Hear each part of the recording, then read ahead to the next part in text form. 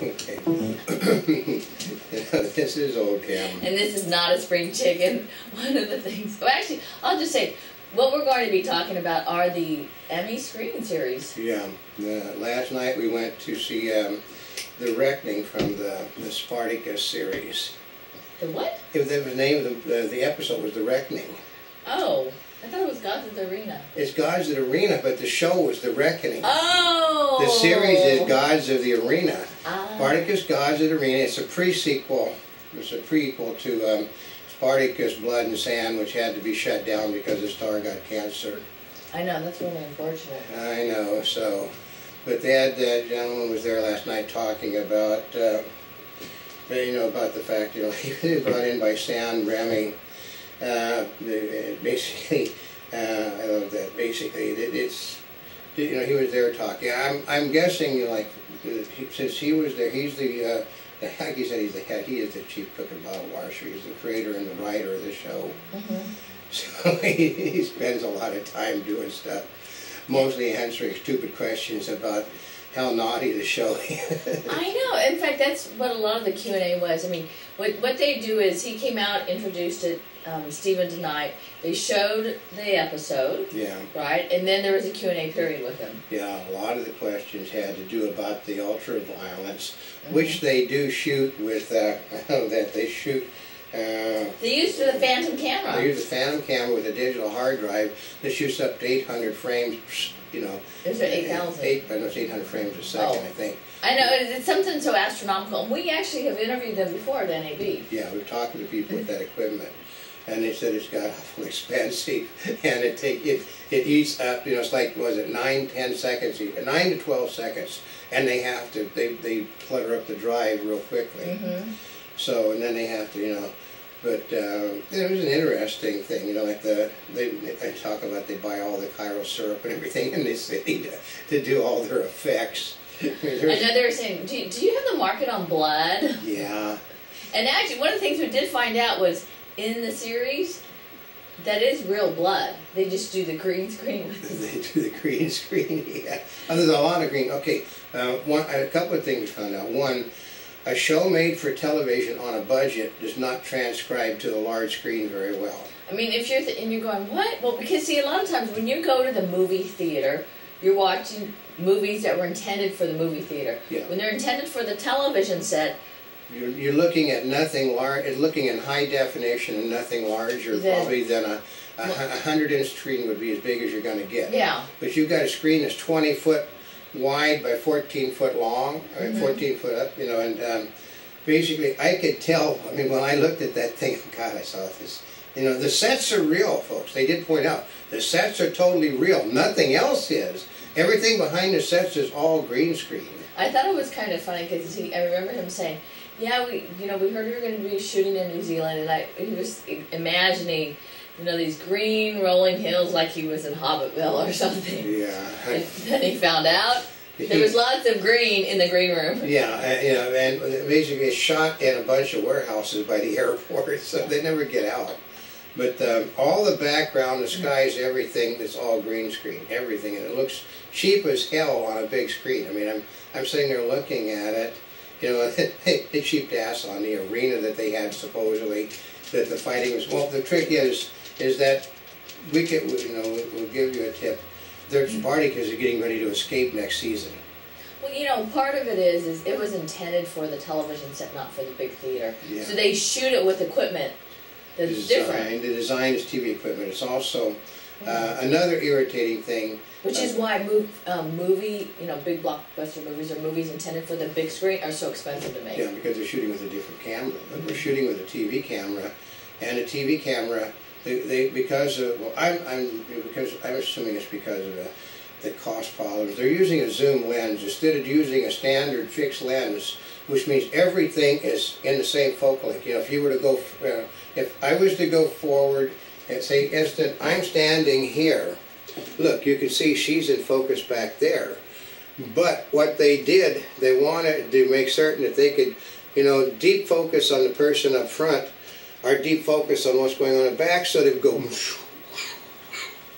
which is really, I mean, I, when I was doing TV in the fifties and sixties, you'd have never seen one of the people working on those series ever doing a zoom shot. Hmm. Especially you're going, zoom, zoom, you're going here, you're there, and then back here, there, back there. And then all of a sudden, they go to the other camera that does have the, a non-zoom lens, and all of a sudden, you go, and you see all this real, all this is in focus then. Then they go back to the zoom. See, one of the things this is his background is as a cinematographer. is he notices all that? I don't. No, she didn't. It's just like I said, when I noticed, I noticed the green screen as soon as it comes on. He said, "My God, that's a bad backdrop." But if you're on a smaller screen, you don't notice it. But on this big one, I could see the paintings. You know, I mean, I could see the what, what it does is the background is there's a flatness to it. yeah. And, and, and because of the fact that these aren't real scenes, because they don't have access to the real stuff, they do it like a painting or something and use that. So, and you know, the skies are all computer generated, but uh, it's, you know, it's an interesting show. I mean, they're talking about, you know, all the made up language. Well, you know? That was the first time I've seen that show. Well, I've seen it before, but we No, I. It really was. And I don't take Starz on my cable, but I take Encore. And what happens is they'll run the uh, Spartacus things over on Encore also. You know, like a month or so after they ran over on Starz and they've basically done this number of runs out, they'll them over there so you can, they're trying to get you to come over to Starz. Actually, one of the things that they did mention, one of the best things they did to get a lot of fans, was um, after they put it on Starz, they put it on Netflix. Yeah.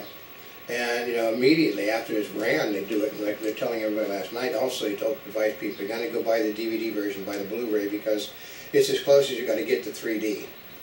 So, Yeah, they said it was really good. Well, actually, going back to that language, what did you think about that? Uh, there was no need of most of that stuff. I mean, they didn't speak like that at all. I mean, they were talking about using, because, uh, okay, the guy is from a theatrical background, I mean, like a stage background, he's a playwright, that, that went in the movie business. Um, so he's basically a ba- uh, basing a lot of what he's doing on Shakespeare, you know.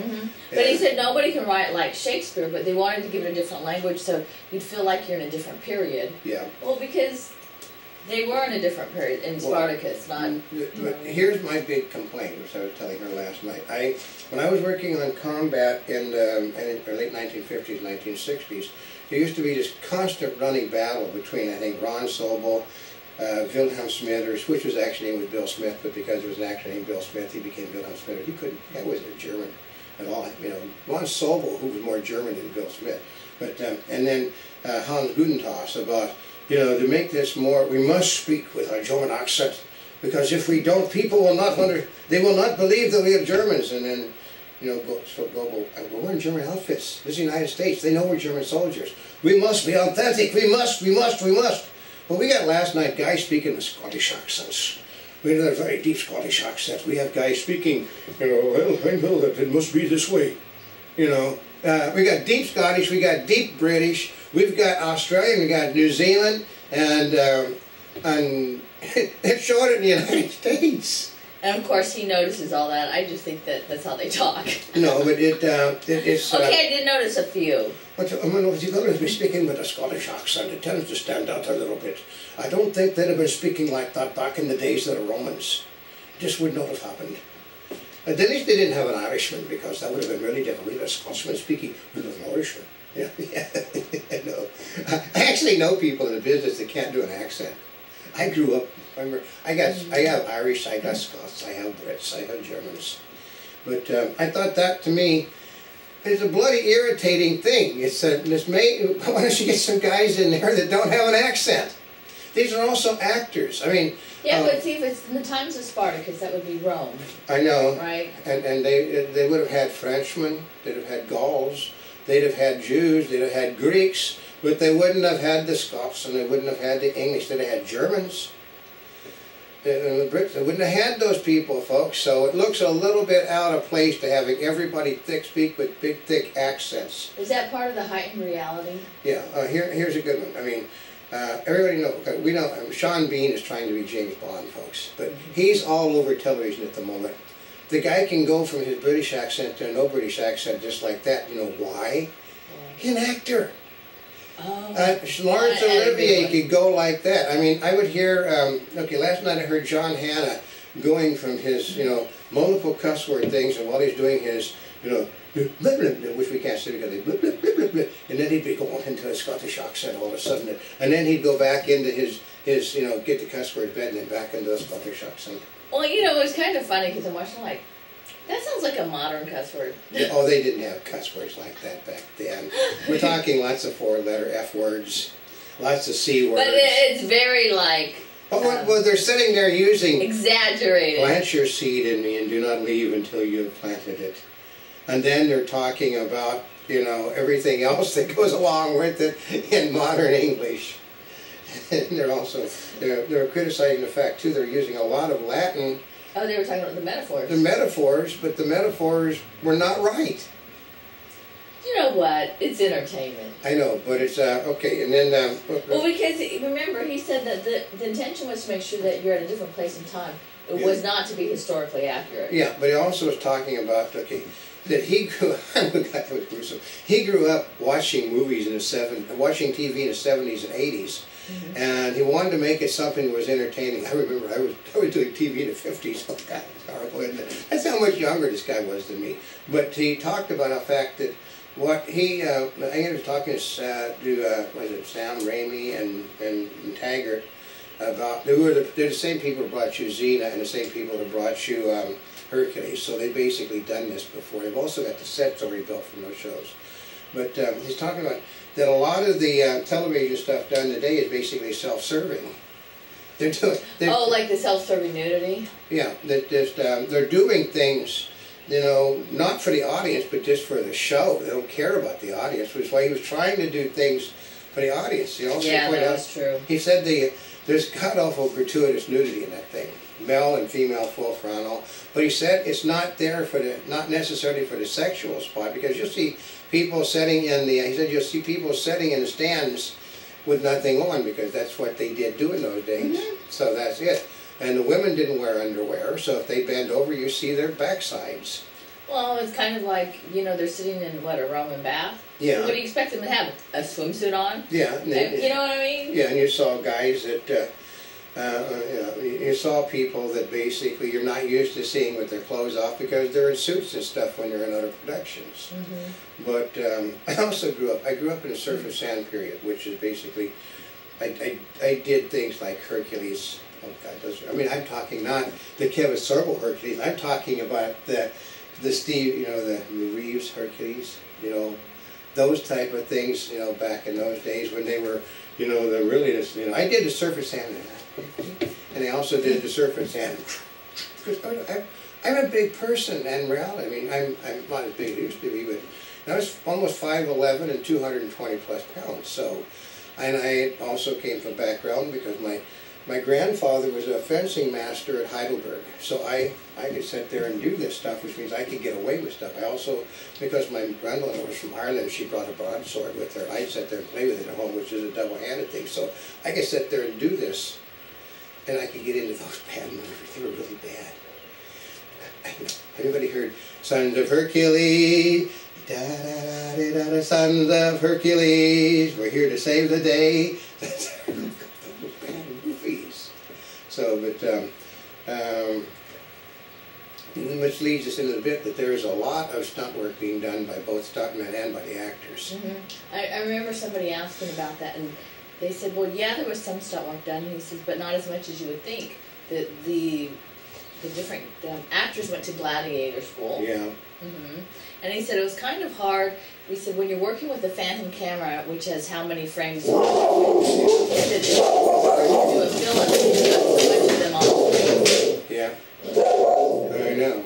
I know. But, okay, but we're talking about like about the, the before we were so inter- really interrupted by the Department of Power and Water. They're trimming the trees, but um, uh, about the stunt having to go to gladiator school to actually learn. Actually, we can guarantee you that there was a member from the show, a cast member, sitting right behind us. I mean, this guy is about like this and had He arms like tree trunks. So, and, and he walked in like he owns the place. So, but um, like I said, uh, like a, a, a lot of the stunt, like I said, a lot of stunt work isn't act, isn't stuntmen. It is actors out there, you know, falling down Yeah. and stuff. So, and. Uh, They did ask if they shot it in real time. Yeah.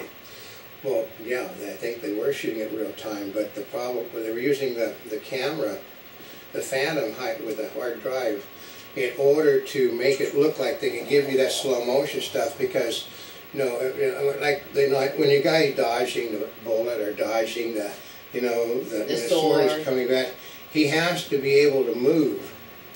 So he's basically falling, and the sword is then coming over. It makes it look more, makes it look better, but, um, but, I mean, a lot of this stuff, I mean, I could see a lot of people getting accidentally hurt in that show though. Oh yeah. So, but, uh, I- like I would notice, I'm noticing things though that totally historically inaccurate. The problem was when you had injuries as bad as a lot of those people supposedly had, there's no way they could fight again for some time in the future. When you're cut clean across here and you're sewed up, sewed up, and your face has got a big gash and you're sewed up, you can't fight again.